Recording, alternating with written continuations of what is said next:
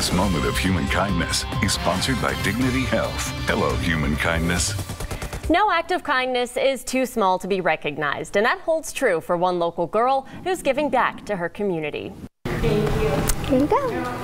Thank you so much.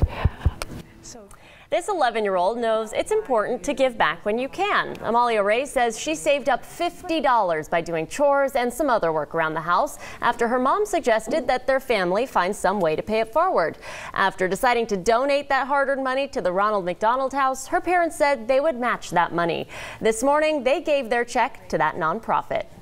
I knew how important it was for um, families when in time of stress and need that they need to be together, especially at this time when somebody is in the hospital. Young people today are making an impact so early, you know, and she did all the research on the charity so she knows it stays local. The Bakersfield Ronald McDonald House allows families of Kern County pediatric or NICU patients to take a break from the hospital environment and give them some normalcy.